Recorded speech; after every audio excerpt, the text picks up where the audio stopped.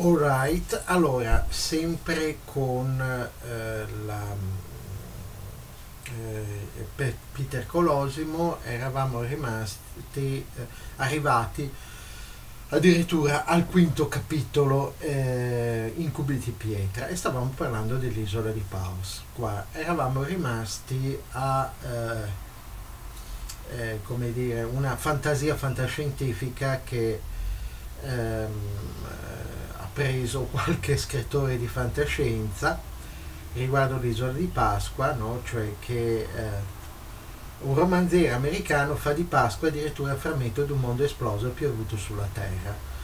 Purtroppo non specifica quale, sarebbe stato interessante leggere questo romanzo.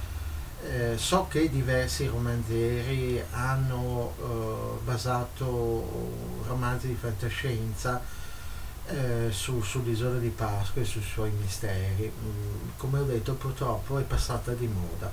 Eh, dunque, Naturalmente si tratta di un'ipotesi del tutto irreale, ma non dà un po' l'idea di un asteroide, quell'isola da incubo persa nell'immensità dell'oceano e del cielo?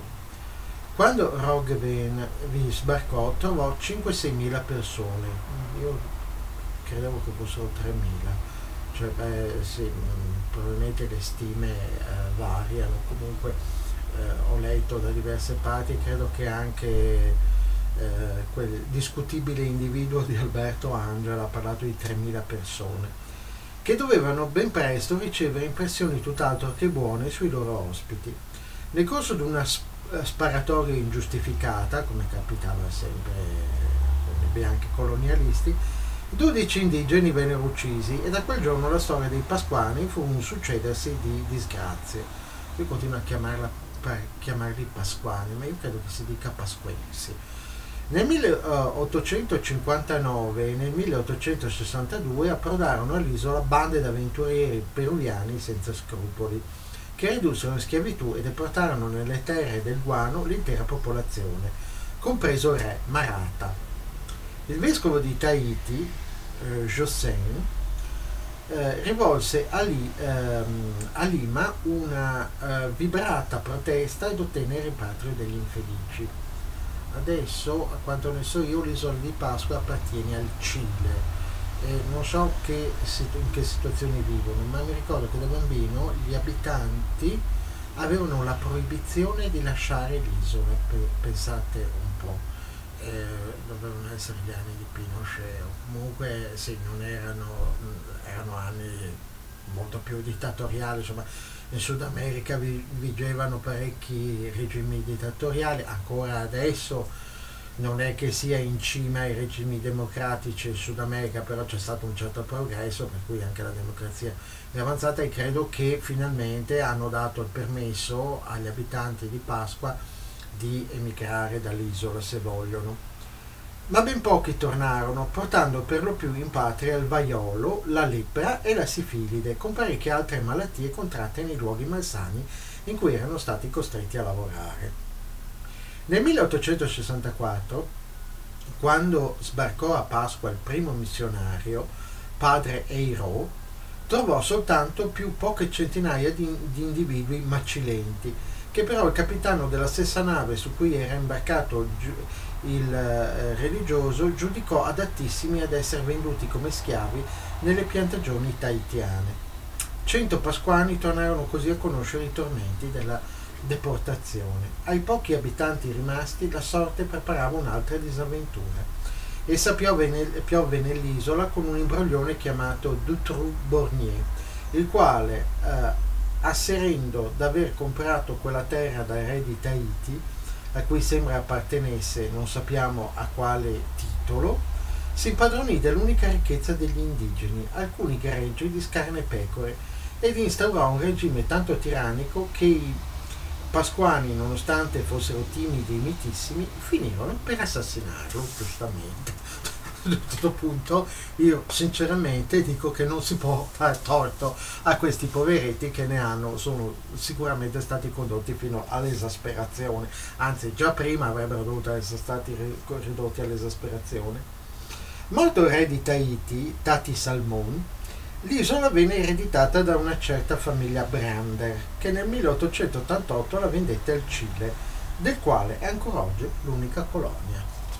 Resta ancora a, a parte del Cile a quanto ne so io, adesso non so però se eh, con una maggiore autonomia eh, sarebbe opportuno cominciare ad interessarsene, magari farò mh, qualche video proprio specifico sull'isola di Pasqua, penso che se lo meriti in fin dei conti, anche perché quei poveretti forse un po' più di, di attenzione se lo meritano anche loro. Quando si parla di Pasqua, la prima immagine che si presenta alla mente è quella delle gigantesche teste di pietra, monumenti che sono fra i più strani ed imponenti della Terra. Essi vennero ricavati dalla pietra vulcanica.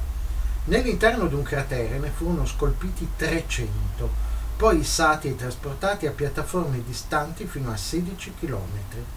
Alcuni di questi colossi pesano la bellezza di 30 tonnellate e la loro altezza varia da 3,50 a 20 metri. Ne esiste uno non terminato, poi, che misura ben 50 metri. Cioè una roba notevole. Interrogati sull'origine del significato delle grandi statue, gli abitanti dell'isola non seppero mai dare alcuna spiegazione. Ciò si deve senza dubbio al fatto che con il re Marata furono deportati i saggi pasquani i custodi delle tradizioni, che certo avrebbero potuto raccontare cose interessantissime, non solo sul passato della loro patria, ma anche sulle più antiche ed enigmatiche civiltà della terra. Beh, questo è un'illazione sua, no?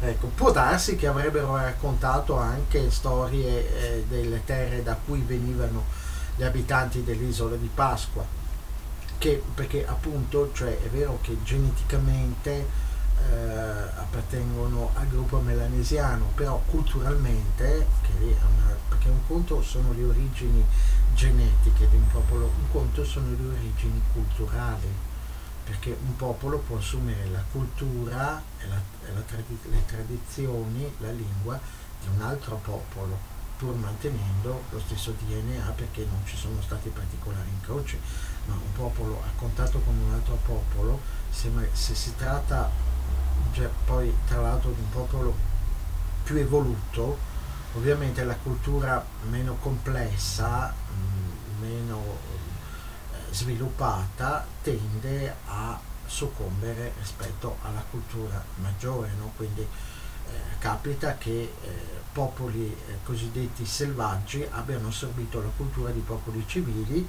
e noi ci ritroviamo magari con appunto i pasquani che, o pasquensi che hanno il DNA dei milanesiani, però le tracce che, culturali che troviamo nell'isola di Pasqua appartengono ad altre culture. Alcuni hanno fatto paragoni con eh, gli Inca del Perù, altri eh, con eh, la civiltà dell'Indo di Mohenjo-Daro e Harappa risalente a 4.000 anni fa.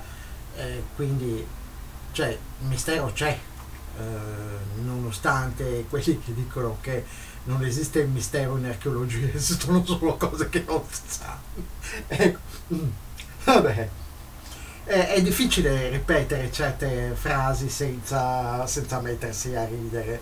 Ecco, io faccio molt, molta fatica, io cerco di essere rispettoso, ma eh, mi viene da ridere a, a tante affermazioni. Dunque, ehm, erano rimaste, è vero, alcune tavolette di legno non isolano, incise con caratteri che ricordano in, pra- in parte sia i geroglifici dell'America precolombiana, sia quelli scoperti pochi anni fa nella valle dell'Indo e risalenti a circa 3.000 anni prima di Cristo. Ecco, lo dice anche lui, eh, cioè che questo mistero, no? non sapevo anche che ci fossero... Mh, eh, somiglianze con le scritture dell'America precolombiana, quella è una cosa da verificare, però la somiglianza con eh, la scrittura della civiltà dell'Indo, quella è indubitabile, mi ricordo a suo tempo di aver visto anche un'illustrazione con il raffronto fra le due scritture no? in cui indubitabilmente si trattava dello stesso identico tipo di scrittura con uno stile diverso ma i simboli erano gli stessi. No? Ehm, e, quello è sconcertante perché la civiltà dell'Indo è praticamente agli antipodi rispetto a, cioè se non agli antipodi quasi eh, rispetto all'isola di Pasqua, no? cioè, significa un, e anche molti secoli dopo, cioè l'isola, la cultura dell'isola di Pasqua risale al tardo medioevo, al basso medioevo, addirittura forse al Rinascimento, ecco, mentre la civiltà dell'Indo appartiene all'epoca della costruzione delle piramidi, secondo la uh, dicitura ufficiale, cioè 2500-3000 anni fa, eh, 3000 anni avanti Cristo. Eh, quindi c'è anche un lasso di tempo, un vuoto di millenni fra l'uno e l'altro, no? si, si, dice ma la cultura che ha fatto da Traité d'Union, dove era, dove si trovava, non è stata ancora scoperta, è, è stata sommersa dal mare, quella è la prima cosa a cui si va a pensare, no? ma sono cose su cui si, cioè, ci sono parecchie cose da dire, anche perché l'India, come ho detto, ha un alto tasso misterico, ci sono molti misteri archeologici e quindi eh, la, la, il problema dell'isola di Pasqua e del suo legame con l'India fa parte di un problema più, più vasto che è appunto quello del mistero della civiltà indiana, dell'origine della civiltà indiana. Eh, dunque,